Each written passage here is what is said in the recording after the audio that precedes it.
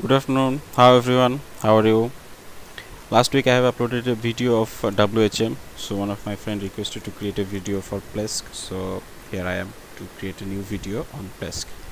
Today i'm going to show you how to uh, set up plesk on your aws and uh, run it your application websites over there. So uh, let's start the process. Uh, I'm in my management console in AWS so I go to EC2 area for creating that instance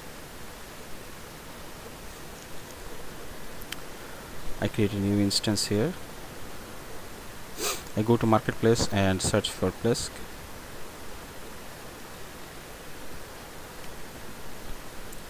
And then if I uh, I want to use CentOS 7 so let's select CentOS 7 and uh, then I uh, this is the price that uh, you are going to pay.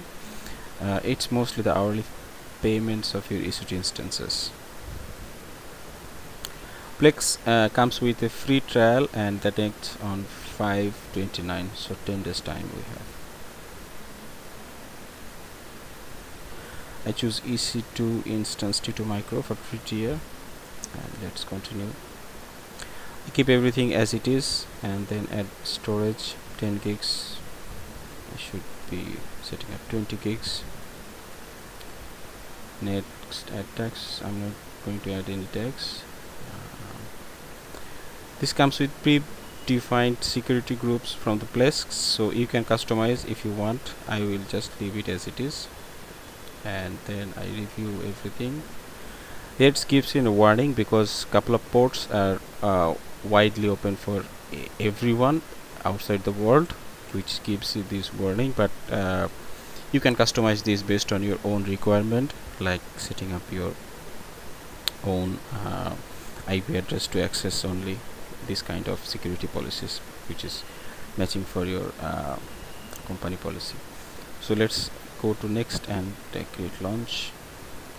I acknowledge that and 31 March okay launch instances. Usually Plesk takes some time uh, let's say 3 to 4 minutes because it's updating its patches from the production server. So um, let's be uh, patient with that and then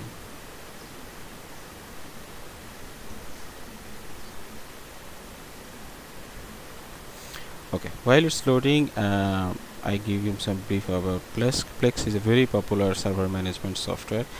It used to manage multiple accounts in a shared server where you have uh, different websites in a same server multiple domains Plesk has built-in Docker and uh, one-click WordPress installations, Git, these kind of lot of uh, features for auto deployment.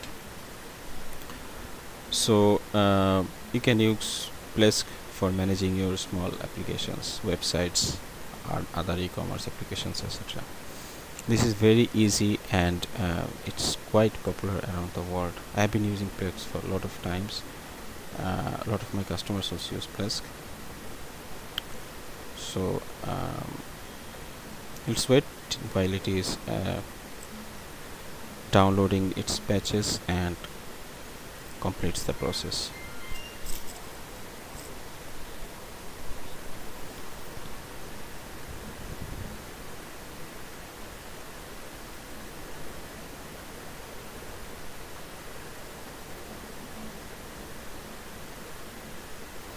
It takes some time so I can pause the video and uh, okay I am back. So let's try to connect to that uh, instance. Uh, and copy the IP address and then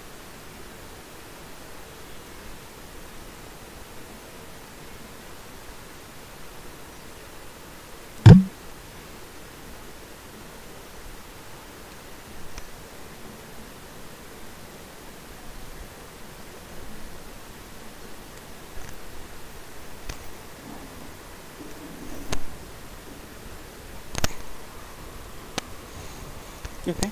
It's uh, it's showing that the server is powered by Plesk. That means Plesk installation has finished. So let's try to connect uh, get a temporary login URL so there is a command given here which if I run in my ssh shell command shell then it will give you a temporary url to connect to that uh, server and set up the root credentials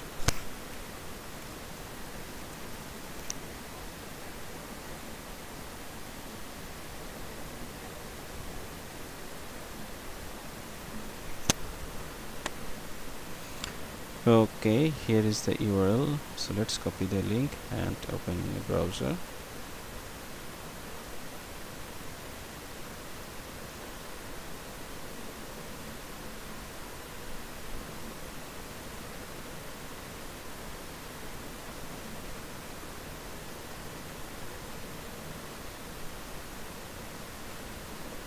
Okay as you can see I am now uh, in a Plesk admin uh, area where I see the setup of uh, admin credentials. I give the contact name admin and email address um, then I generate a password and use this. Copy this password for later use. I have uh, confirmed under Plesk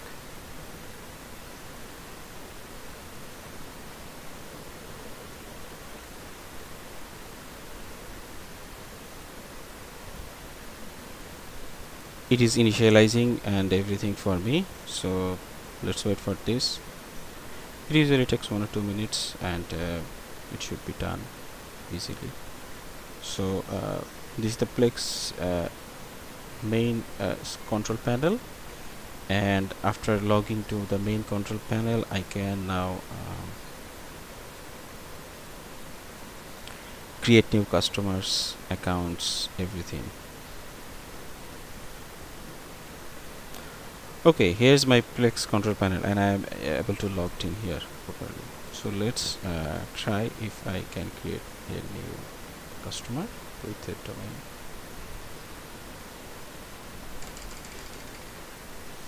So add a customer.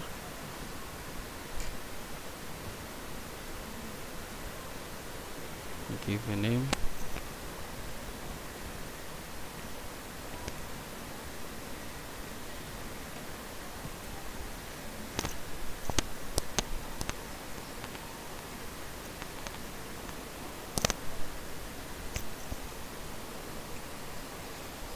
give the username password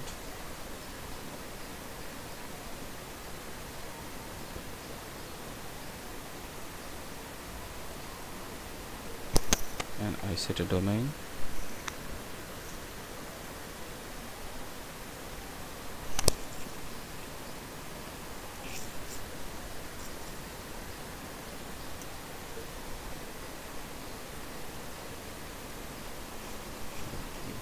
username of the domain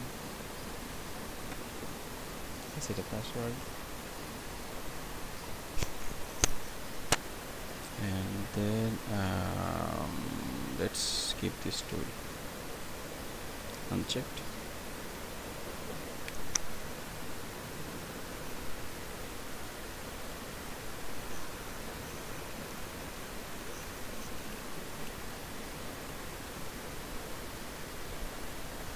okay here uh, my account is created and now I'm going to log in as a customer and see.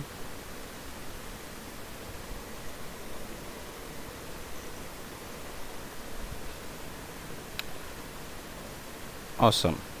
So uh, as you can see we have now set up Plesk on our AWS environment and we can create we are able to create customers and we have uh, logged in as a customer and see over there we can create database we can install WordPress over there and a lot of other things can be done. So uh, I hope this will help you to install Plesk on AWS and you can you need to buy the license for Plesk outside of AWS because AWS just provides the Plesk license. But there are a lot of providers I, I can give you a link in the description who sells Plesk licenses so thank you for watching this video. I hope you like this video. If you do please subscribe to my channel and uh, see my other videos as well. Thank you. Have a nice day. Bye